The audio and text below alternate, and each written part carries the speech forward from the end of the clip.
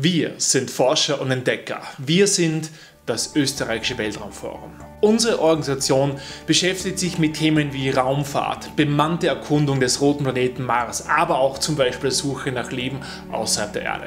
Unsere Analogastronautinnen und Astronauten, die simulieren in Mars-ähnlichen Umgebungen auf der Erde, wie man eines Tages in 20, 30 Jahren auf den roten Planeten zum Beispiel nach Lebensspuren suchen kann.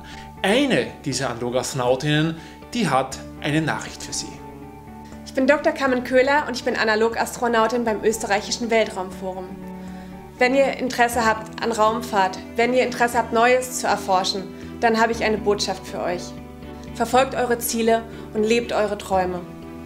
Wir vom Österreichischen Weltraumforum finden die Initiative Die Astronautin eine tolle Sache und wir unterstützen das.